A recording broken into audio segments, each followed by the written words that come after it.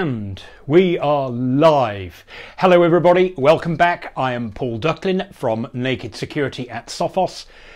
As usual, if you can hear me, just give me a I can hear you note so that I know it's all working correctly. I think I set up everything correctly in advance today. So let's crack straight on with the news story that we, we're going to be talking about today, it might not be the most significant or the most important story from a cybersecurity point of view, but it's certainly one that has attracted an enormous amount of attention, and you probably know what it is. Uh, if the title didn't give it away, uh, let me show you what the story is that started this. This is a warning from the Cybersecurity and Infrastructure Security Agency, together with the FBI and essentially the US Department of Health. And this is what they published. I hope you can see that. It has the unattractive name AA20, that's as in 20 alert for 2020 302A. I think it's the 302nd alert version A, but it's the title that we really need to pay attention to. Ransomware activity targeting the healthcare and public health sector. So basically, the, the idea is that the, the, the FBI feel that they, I, I guess from, they haven't said, they don't need to reveal their sources, word on the underground is that ransomware attacks against hospitals and healthcare, particularly in the US, that the crooks have been pursuing quite aggressively this year because they know that hospitals they can't afford to shut down. They're quite big. They've got access to public funds, so if they're really stuck, maybe they can get squeezed out of the money. So the evidence is that the crooks, at least some of the crooks, are planning to continue. Now, we could have assumed that because what we generally see with cybercrime is what works yesterday for the crooks and gets them large amounts of ill gotten gains is probably what they're going to try tomorrow. And if it still works tomorrow, then they'll evolve it and try the day after and the day after and so on. So it's not news that the healthcare is, industry is under attack. All this report was was a warning that says if you are in healthcare, here are some things you should really read now because and they go into the detail of how one particular common uh, ransomware attack involving the TrickBot malware and the Ryuk ransomware, that's just one example. They give you a detailed expose of how the attack unfolds, which is an excellent example. Even if what you get isn't TrickBot plus Ryuk it could be some other combination of malware. The crooks could get in via some other means, such as a weak password the battle story that the, that the CISA report tells is informative, even if it's not the one that you might face in the future. It gives you a good idea of what you're dealing with. So, the reason that I wanted to cover the issue, well, what to do, there's this healthcare warning. And unfortunately, I think that a lot of coverage that we've seen in the media has very much focused on the wow, healthcare in danger. And the it's almost as though the implication is that this is a criticism of and a little bit of a dig at the healthcare industry for not being good enough. Whereas in fact, it's simply a warning that happens to focus in this case on the healthcare sector. And it, I think it's led to some people go, oh, well, what a relief. I'm not pleased that they're going after hospitals. I'm not pleased that they're going after healthcare, particularly in this coronavirus era, but at least it means I'm okay. Either, obviously, I'm not at risk because I'm better at cybersecurity than the average hospital, or the crooks have taken their eyes off me for a little bit so I can relax and get myself in order and, you know, let's hope the hospitals get their act together. What I advise you to do if you haven't read this report, uh, go and have a look at it. And now there are some things in there, admittedly, that are specific to healthcare. So there are cybersecurity interest groups that are healthcare specific, and there are some regu- there's some regulatory stuff that's very specific to the healthcare industry. As you can imagine, if you want to try out some random new firmware on your home router or on your Android unlocked Android phone, that's your business. But in a hospital, you're not allowed to go around reflashing firmware on things like ventilators, anesthetic machines and so forth. Even if there are known problems with the firmware, you have to kind of learn to live with those because the risk that the machine might go wrong is considered to outweigh the risks that you might accidentally connect it somewhere and get it hacked. So there are some things that are cybersecurity, uh, that are healthcare specific in that report. But what I'd urge you to do is read it, and wherever you see the word healthcare or health sector or public health, Imagine in your mind that those words are crossed out and your own industry sector is written in there, whether that's retail or hospitality or aerospace or civil engineering, what legal advice, financial services, realty, whatever it might be. Just imagine that your industry sector was written in there and imagine what would happen to you and your business if you were to get hit by the kind of attack that is exemplified in this and that report. So in order to indicate why ransomware is a somewhat changed problem from perhaps what it was a year ago, let's just quickly revisit where we've come from and where it looks like at least the big time crooks are going. And then we'll get back to what the medium time and little time crooks are doing as well. So the most important thing is we do a very potted history of ransomware. 2013, we had CryptoLocker. Those guys spammed out massive numbers of of attachments. They aimed to infect tens or hundreds of thousands of people at a time and to take $300 off each and every one of them individually. They had the infrastructure and the service to do that. That was very labor intensive and quite complicated and it took time to get their business going. So a new wave of crooks came along He said, let's up the ante. Let's go for hundreds or thousands or tens of thousands if we can computers at the same time. But instead of having 10,000 different people each giving us 300 bucks, let's go for a company. Let's paralyze their whole network. Let's go looking for their servers as well. So they don't just have a few laptops that have locked up and they can go and get some old ones out of the cupboard and live through it. Let's, let's mash their servers and their, let's bring their whole business to a, a, a halt. Then we can ask them for much more money. And that's exemplified 2017, 2018. There was a, a, a cybercrime gang uh, out of Iran, I believe, called SamSam.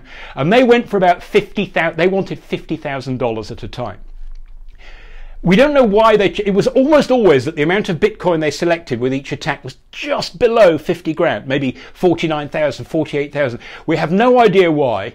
All I can suspect is that they figured that there was some kind of accounting trigger in many US companies that if it was under 50 grand, you didn't have to go to the board or IT could self approve it and it was easier to get the money together. And they went after victim after victim after victim, thousands of computers at a time and asking for five digit ransoms and sadly getting them until the FBI identified them and uh, put them on the wanted list and they kind of went quiet. Unfortunately, the crooks now, the modern day ransomware crooks, believe it or not, they are up to eight digit ransoms. And I'm not kidding there. That, that sounds dramatic. Now, eight digits, that's 10 to the power eight. So I'm, I'm talking, actually, it's not, it's 10 to the power 7, isn't it? because of the one at the front. $10 million. That's the highest ransom I've heard of asked. That was CWT, it's a US travel company. They would the, the extortion demand was $10 million. Apparently, they were able to negotiate it down. My golly, what a lovely bunch of chaps the crooks are. To a mere $4.5 million paid in order to get their business back on the rails. Now, that's a joke because it was a travel company, right? Um, but it was very true. Their business was completely dislodged. Um, and the problem is that the reason the crooks have got such big money in mind now, not just the 50 grand that the SamSam guys had two or three years ago, but they're going for millions of dollars at a time, is that their, their MO, their modus operandi, has changed a bit. So instead of getting into your network, scrambling your computers and say, right, here's the extortion demand, here's the blackmail, pay us the money or we'll eat the copy of the decryption key and you'll never get your data back.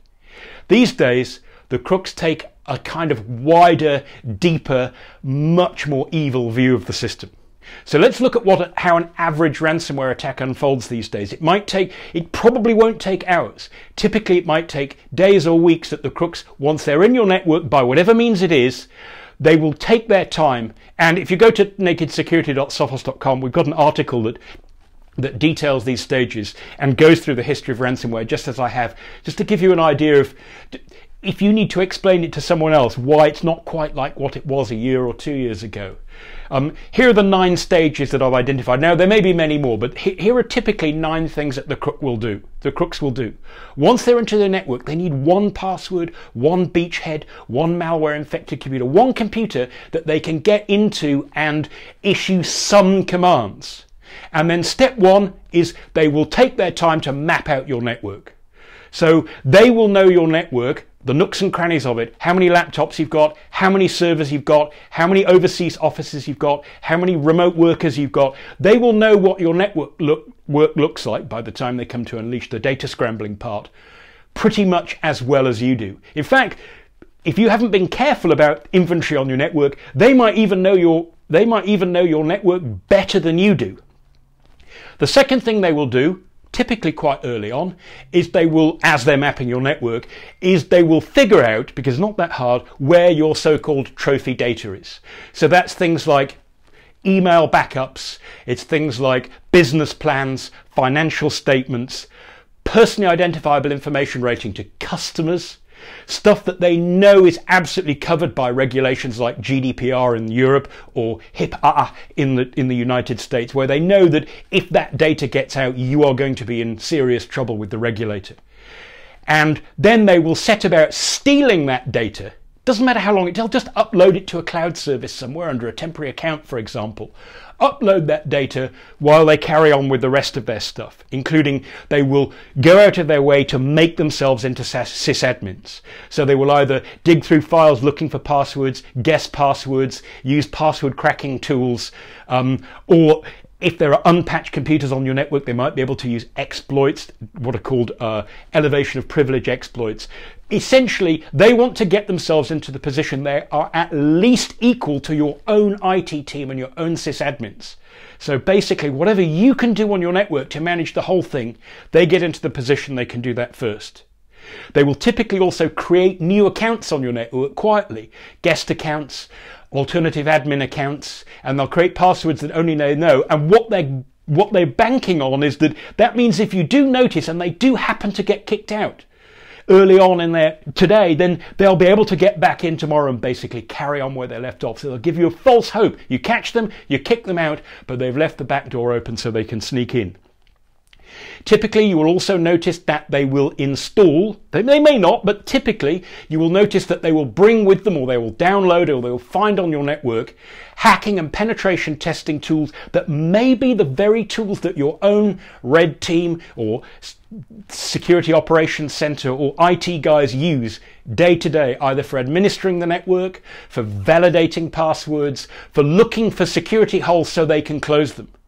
And if the crooks know that you use some of those tools, they will use the same tools that you do because they're banking on the fact that if they show up in security reports, it's possible that someone will go, wow, that looks a bit suspicious. A password cracking tool. But I know the IT guys use that because they like to keep an eye on things. So they, this is called living off the land. They try and blend in by not bringing their own hacking tools, but using ones that may be, even though they can be used for evil, they're also commonly and regularly used for good. So they try and kind of fit in with the sort of things that you're already doing. Typically, once they're sysadmins, they will find out what security software you have, and if they can, they will go in and they will manipulate, they will reconfigure your security settings, whether that's tweaking things on your firewall, dialing down your web filtering a bit, changing your antivirus settings, adding exclusions so that they know that when they bring their malware along, they can put it in one particular innocent looking directory and you won't notice because you've kind of given that part of your network a free pass because you kind of think no one from outside the network will ever notice. But the crooks are inside your network and they're going looking for that sort of information. You will also typically notice a few malware infections popping up, malware detection springing up here and there that kind of look inconsequential. And typically, what is happening when the crooks are doing this is that they're deliberately running various malware samples or using particular techniques for loading things into memory, installing files on disk, enumerating processes, killing off tasks that they need to deal with. They're trying stuff out to notice which ones trip your alarms and which ones don't. And what that means is if you're in the habit of looking at your malware reports and going, oh, look, we had a malware report or we had a, some weird hacking tool, it got detected and removed, great, that means the problem's solved. 10 years ago, it probably did. Unfortunately, today, what it's very likely to mean is that if, if you can't tie it down to your own system administrators doing this, what it may very well mean is that someone is probing very, very slightly, hoping they will make just enough noise that you will go, hey, aren't I great? I found the problem and I fixed it. In fact, all they're doing is they're, they're finding out the nature of, mapping out the nature of your defenses.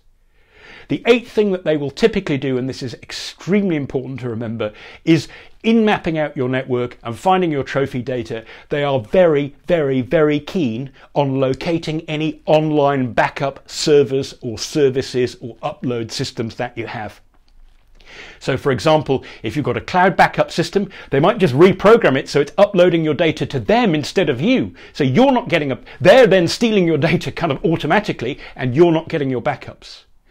And typically, once they know where your online backup services are and how they work, they know that they can go in and trash your backups just before they do the very last stage. So remember, we're talking about ransomware, but we've had eight terrible sounding things that have happened before stage nine, which is they unleash the ransomware, scramble all the files. They've got access to all your computers because they're sysadmins, remember. They know what security software you use, so they've dialed it into a way that they know it'll give some alerts, but won't, so you won't notice it's not working properly, probably, but it's just weak enough to let them do their stuff. They've trashed your backups and they've already, rather than just scrambling your data, they've stolen your data first. So now they get a kind of double play. Maybe that's probably the wrong analogy, like a double whammy against you. So when they come to give that ransomware demand, a, they've typically scrambled all your files, so they brought your, your clients and your servers, your laptops and your servers and your services to a screaming halt. So in the short term, your business is in real difficulty because you're finding it hard to operate. So step one of the blackmail is they say, pay us the money and we will give you the decryption keys and that means that you will get back up and running much more quickly than otherwise because as you will see we trashed all your backups. And then the flip side of that if you say well I've I've got an offline backup which you should have if you've got an offline backup then the second part of the blackmail the extortion is well by the way let us show you some files that we stole from your systems. Imagine what happens if those were to reach your competitors, your customers, the stock exchange regulator, um, the, the salacious parts of the media, or the regulators who look after data protection, HIPAA and GDPR and so forth. So they've now got two ways of, of extorting you. So those are the warnings for healthcare because obviously in a hospital, which is they're typically very busy, they're 24 operations, they often don't have quite the budget or the time they want to put into IT. They have particular challenges of their own. But all those nine steps that I've mentioned, that's typically what's happening to large, medium and small businesses when ransomware crooks get inside these days. They're not trying to get 10 computers for $2,000 each, that'll be 20 grand. They're trying to get a thousand computers and hundreds or thousands of really, really salacious and important files out of your network. And then you'll find the blackmail is going to be more like $100,000 or $1 million. And in some cases, companies kind of feel like even though it's doing a deal with the devil, they kind of have very little choice but to pay. Otherwise, they're going to be putting their customers at risk and they're just not going to be able to carry on with the business.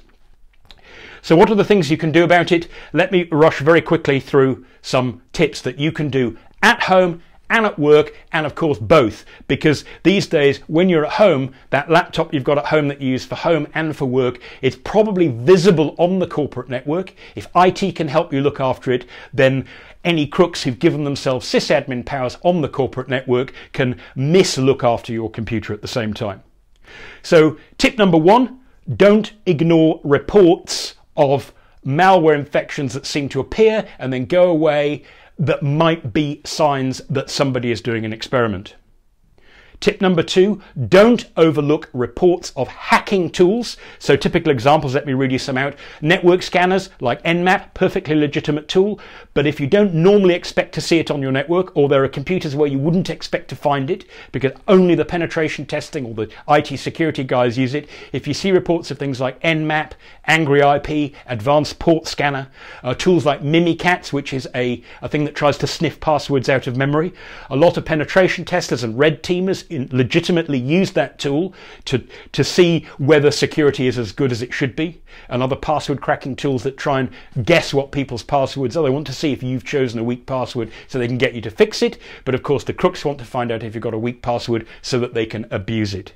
Um, and there are a bunch of other tools, notably uh, the Windows sysinternals tools, fantastic suite of tools. Every sysadmin will have them in their tool bag somewhere. The crooks love to bring those along. That's tools like PsExec, Process Explorer, um, TCP view, tools like that that show them what's going on on the network. And the reason the crooks love those is that even though they can be used for bad, they're very often used for good, and they're the kind of tools that you might expect on your network. So if you see reports that you were not expecting and you cannot tie back to one of your own sysadmins, be very concerned because it could mean that there's an attack poised to happen on your network. The crook, you, you don't know how close the crooks are. Assume that it's going to happen sooner rather than later.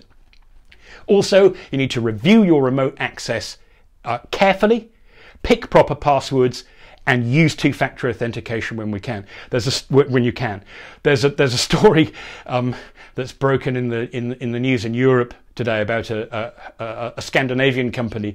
Well, they do do a bit of cybersecurity, but they're more of a physical security parent. I won't mention the name of the company, but they apparently they had ransomware attack. The crooks stole some data. Good on them. They said we refuse to pay, and the crooks had gone and dumped a whole load of customer data in order to embarrass them. And but the most embarrassing thing, uh, this is only an allegation, but it seems to have come out in the story. It seems that the reason the crooks get in, and sometimes I like to brag about how bad the security was, it seems that they had a remote access password which was password 01. I'm sure they didn't intend that. I'm sure it just forgotten, got forgotten on an account that they that they that they hadn't looked at for ages. So it's not a bad that that's a bad enough look all on its own. Uh, the other main way, or perhaps the major way that crooks get a beachhead in your network, of course, is through phishing. And so the last two tips are use some kind of phishing testing system. I'm not saying that because we have Sophos Phish Threat. Do go and have a look at that. But it's a you need something that's a great way where your IT people can test out users, see if they're likely to fall for phishes when it's someone decent on the other end who can counsel them rather than a crook who's trying to get one and only one person to make a mistake that gives them that little beachhead that they need to bring in all those system hacking tools. And lastly, I've said this before and I do want to say it again. If you're in the IT team, make sure you've got a good, reliable, easy to remember, if you like, security 911 hotline, whether it's a phone number or an internal email address or both, where users who think they've seen something wrong can easily, quietly, and without any drama or complexity report it. They may be wrong a lot of the time. There may be emails that look like phishes but aren't. But as I've said before, if crooks are targeting your network to get one beachhead to build up to a $1 million ransomware attack, they don't send one email to one person, and if that person doesn't open the attachment, go, okay, well, we'll give up and we'll move on. They'll try everybody, and so if one person says something to somebody, then that may mean that everybody ends up getting protected. So if the first person who sees something says something, that can be exactly what you need to keep the crooks out of your network. So that's all for today, folks. Um, I'll, I'll let you get on with preparing your systems to be resilient against the crooks. But the main reason for today's video was just to remind you that even though the news is full of, wow, healthcare under attack, the crooks are ramping it up on healthcare, that doesn't mean that healthcare's loss is your inadvertent or good fortune gain. So it doesn't mean the rest of us can stand down from red alert. It means there are things that the FBI and the CISA are hoping that the healthcare industry will do that maybe some of them haven't done before, but the lessons they're trying to teach to the healthcare industry are the very same lessons that we can learn from and implement ourselves. So thanks for listening, everybody, and until next time, stay secure.